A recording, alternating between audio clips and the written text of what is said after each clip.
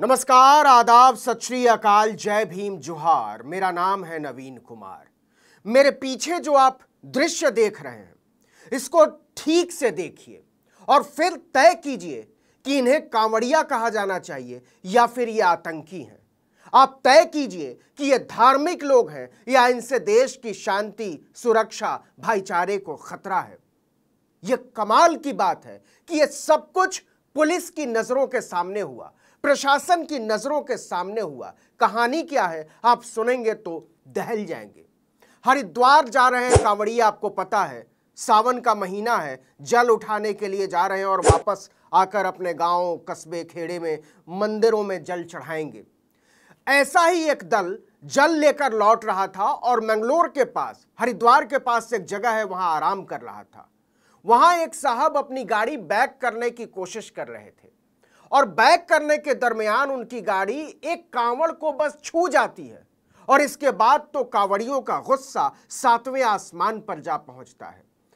गाड़ी में बैठा हुआ शख्स एक मुस्लिम है। उसके सिर पर टोपी है। आप समझ सकते हैं कि इसके बाद वहाँ क्या हुआ होगा और इसके बाद वहाँ कैसे वो खतरे में आए होंगे। पूरा विजुअल आप देखिए और उसके बाद फिर समझिए कि किस तरीके के माहौल में किस तरीके से इस देश के लोगों को एक दलदल में धकेला जा रहा है, एक भीड़ में तब्दील किया जा रहा है और कौन लोग इसके लिए जिम्मेदार हैं?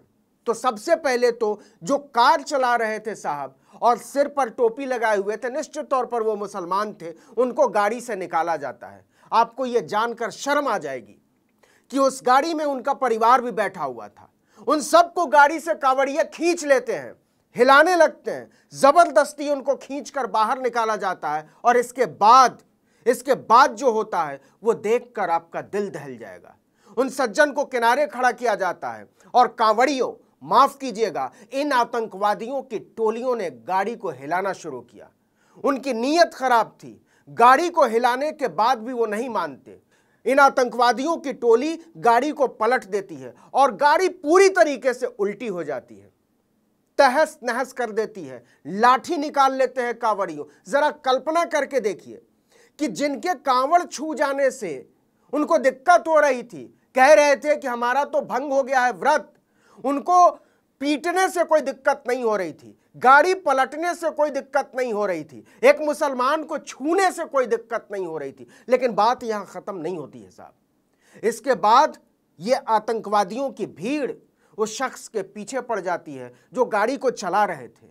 और इसके बाद शुरू होती है उन पर लाठी, डंडों, कुर्सियों की बौछार। जिसके हाथ में जो आया, उसी के साथ उन पर टूट पड़ता है। पुलिस वाला देखता रहता है चुपचाप। वो कम पड़ जाता है इन आतंकवादियों की भीड़ के सामने। वो कुछ लोगों को रोकने की कोशिश भी करता है, लेकिन लोग कुछ भी सुनने को तैयार नहीं है। यह सरफिरे, गुंडों, मवालियों, आतंकवादियों की भीड़ थी जो अपने आप को कावड़िए कहते हैं। यह कहते हैं कि हम धर्म के रक्षक हैं, लेकिन असल में यह इंसानियत के भक्षक हैं। ये लोकतंत्र के भक्षक हैं।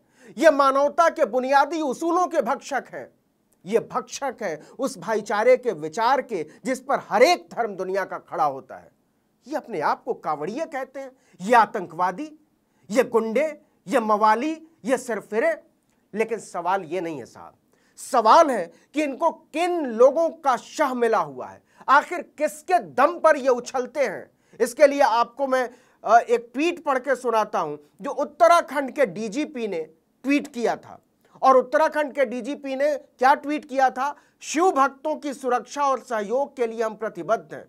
सोमवार से कांवड़ यात्रा में पुलिस व्यवस्थाओं की समीक्षा को लेकर हरिद्वार पहुंचकर कांवड़ यात्रा पर आए शिव भक्तों से उनकी यात्रा के अनुभव पूछे और उन्हें उत्तराखंड पुलिस की ओर से पूरी सुरक्षा और सहयोग का आश्वासन दिया। आप सोचिए और कल्पना कीजिए कि सहयोग और सुरक्षा की जो ज़रूरत है वो कांवड़ियों को, को है या फिर उन लोगों को है जिनके लिए यह कांवड़िया किसी आतंकवादी में तब्दील हो गए हैं। हमने कुछ दिन पहले आपको एक वीडियो दिखाया था। उत्तर प्रदेश का वो वीडियो था और मेरठ से सहारनपुर, हरिद्वार की तरफ़ जाने वाले रास्ते का वो वीडियो था कि कैसे पूरी आधी सड़क को, एक हाईवे को, नेशनल हाईवे की वो तस्वीर थी, वो वीडियो हमने दिखाया था आपको, कि आधी पूरी सड़क कांवड़ियों के लिए घेर दी गई है, बैरिकेडिंग करके, उस पर कोई और नहीं चल सकता।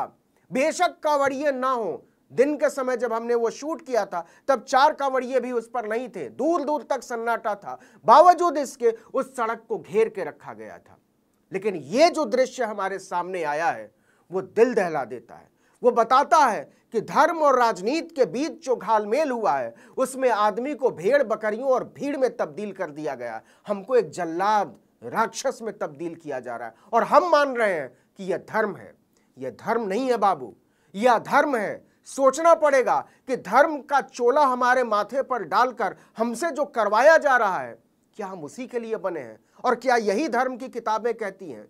या फिर कांवड़ लेकर जाते हुए, जल उठाते हुए, शिव की आराधना करते हुए हमको यह समझ में आना चाहिए कि दरअसल ये तो वसुधैव कुटुंबकम का देश है। शिव तो औघड़ बाबा है।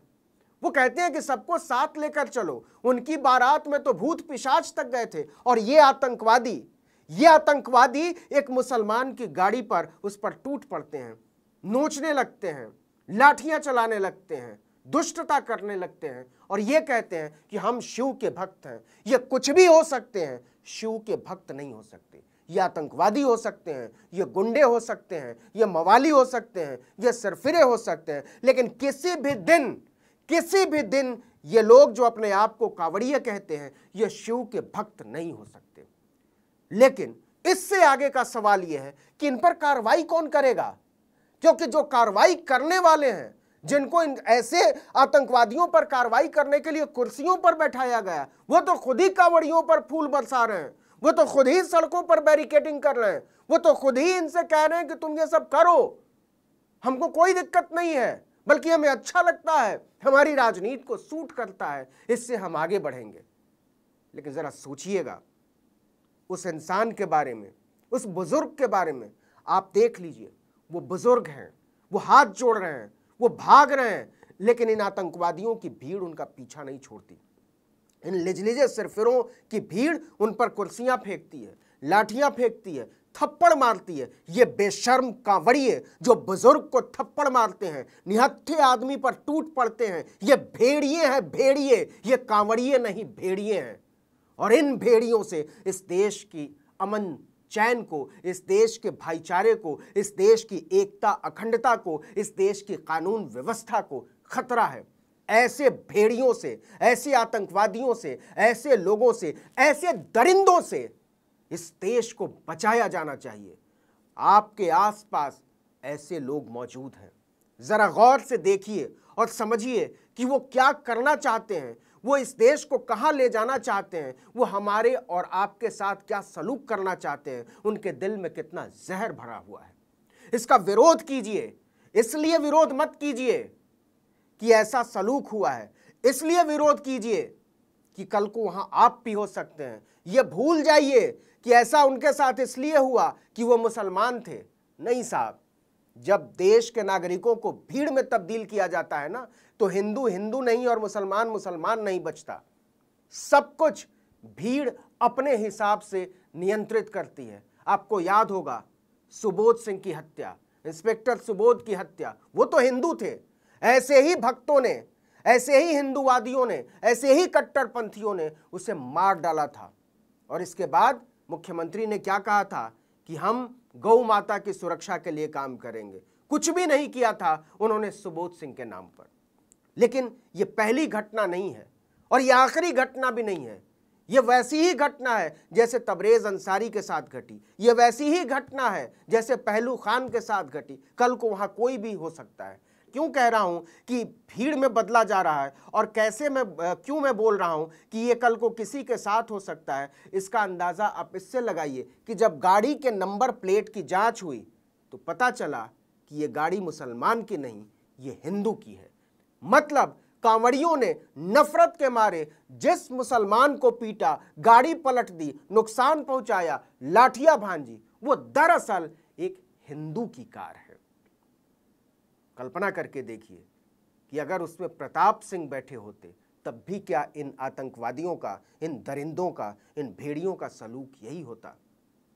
बिल्कुल होता, क्योंकि भीड़ के लिए न कोई हिंदू होता है, न कोई मुसलमान होता है। उसके लिए आप सिर्फ़ उसके मनोरंजन का सामान है। ये खूंखार लोग, ये खूंखार सोच, ये जाहिलाना सोच इस देश को किसी दिन बहुत बहुत बर्बाद कर देगी। इसके पहले कि सब कुछ बर्बाद हो जाए, इसके पहले कि हमारे बच्चे खतरे में आ जाएँ, इसके पहले कि हमारे बुज़ुर्ग माँ बाप खतरे में आ जाएँ, इसके पहले कि हमारे भाई बहन खतरे में आ जाएँ। जागिए, आवाज़ उठाइए और दरिंदों को दरिंदा कहिए। इस वीडियो में इतना ही, लेकिन अगर आपने आर्टिकल 19 इंडिया को अब तक सब्सक्राइब नहीं किया तो फ़ौरन कीजिए।